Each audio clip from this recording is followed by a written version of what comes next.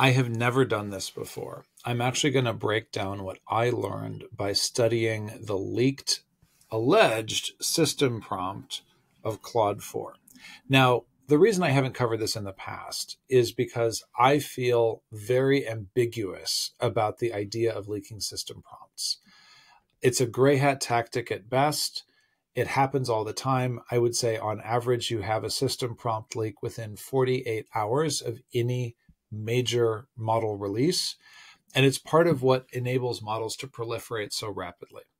But regardless of how I feel about it, the reason I'm covering it today is because I think there is so much to learn from this system prompt and whether or not it's real. Because, of course, the model makers never ever validate whether they're real. And I don't care if it is or not. I care about the prompt structure. And I'll link to it in the in the description for this video.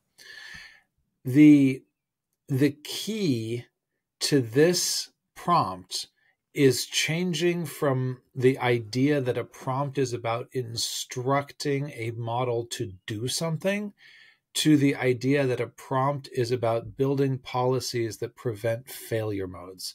And you might think, well, that's okay for a system prompt for a model. Maybe if you're using an API, that makes sense. Why would I care as an operator that chats? I actually think you care a lot because at the end of the day, you also care about quality outputs, and most people put 80% of their effort into what the model should do for them, and at best, 20% of their effort into what they don't want the model to do. This prompt for Claude 4 is basically the opposite. It's like 90% what Claude should not do and 10% what it should do. And I want to go through seven different tactics that I found inside the prompt. And again, I will link to this. You can see the whole prompt if you want. It's like 300 some lines, 10,000 words.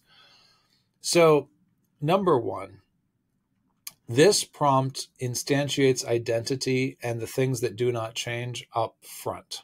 So it starts with concrete facts. This is this model's identity. This is the current date. This is the core capabilities. The idea is that establishing context early that's steady and stable reduces working memory burden. It's not so much a hack, it's just it's good instructional design. Number 2, triggers and template refusals. This is an explicit if X then Y conditional blocks that handles edge cases. And I think the care that this prompt puts into edge cases is a masterclass on its own ambiguity leads to inconsistencies from these models. If you want to have consistent behavior, you need to be clear and spell out your edge cases. And so this isn't so much about being restrictive, it's about being clear. It's about saying, this use case has these boundaries and these explicit conditionals. And I think that is an inc- incredibly powerful principle for prompting. Number three, uh, and I'm going to be very precise about this. I call it three tier uncertainty routing. So basically, this gives the model very specific instructions for how it handles ambiguity. And I've almost never seen this in another prompt. So the first answer, the first step in the decision tree is this is timeless information.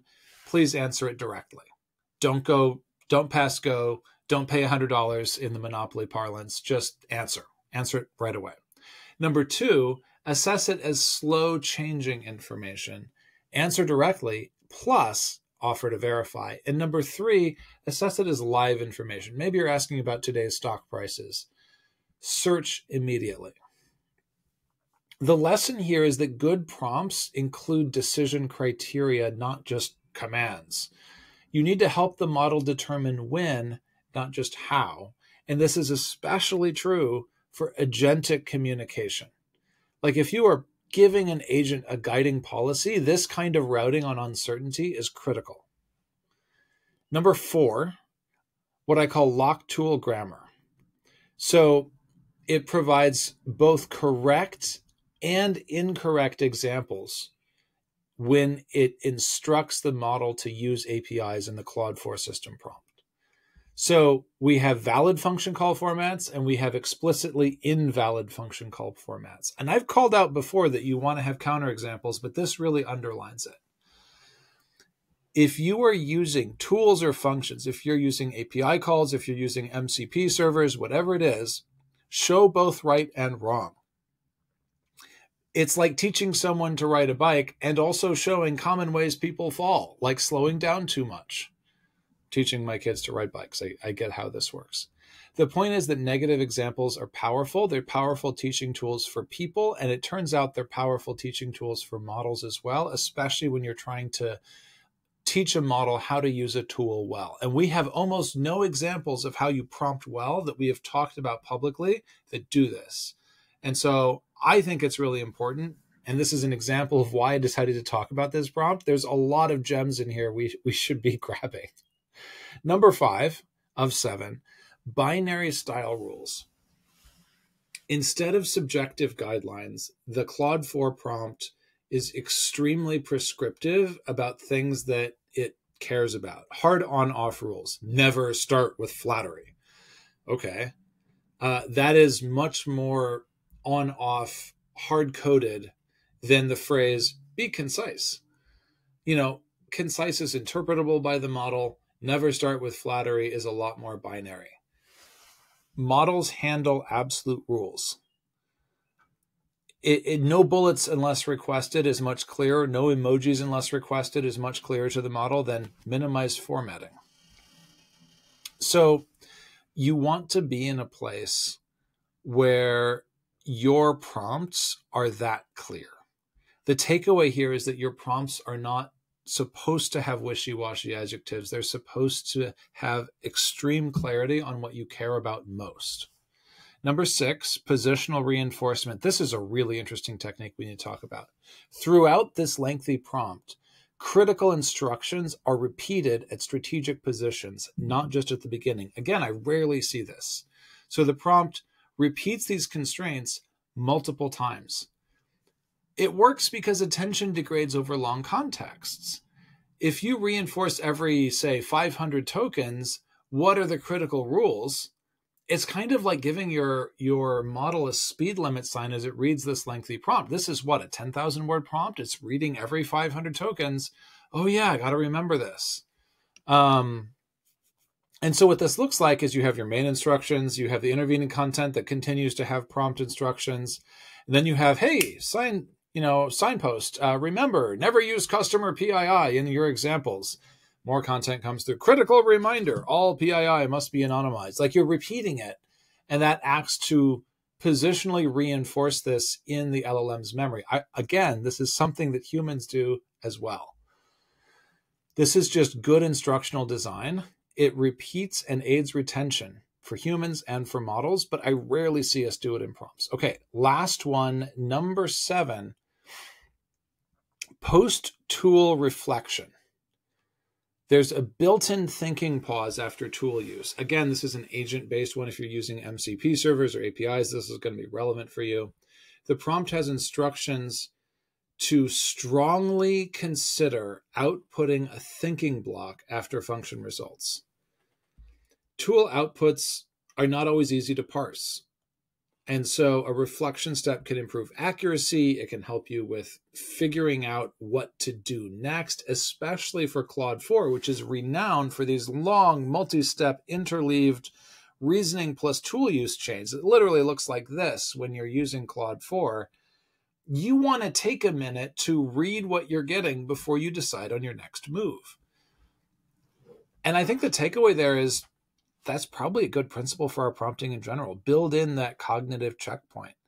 Don't just make it spit the tool output, ask it to process and think about it. Look, this can get turned into a prompt you can use as an operator too. You're not stuck with this and like admiring the Claude prompt from afar. Like you can actually use it yourself. I think the thing that I take away here is that we need more understanding of prompts as operating systems. Prompts are not just incantations, they're not spells, they're not magic words that makes the LLM do a thing. They're like an OS config file. It's it's about being extremely precise about what you intend. And it's okay to be defensive in that. It's okay to address hallucination, copyright issues, harmful content exhaustively rather than just kind of waving a hand at it and moving on. And if you do that, if you are more passionate and more caring about defensive programming than most of your peers when you write these prompts, you are going to get better results. And that will add up to real value. I would also say the third takeaway I have, besides operating system, defensive programming, is you want to be declarative. Instead of first X, do Y, see if you can frame it as a policy. If X, always Y. How much of your prompting would change if you did that? So there you go. Long, long dig into prompts. I have something on the Substack on this as well. Um, I think this was a fantastic use case. Again, I have some mixed feelings about how this alleged prompt came into being, but it's so useful, it is worth learning from regardless. And I hope you've been able to see that over the course of this conversation.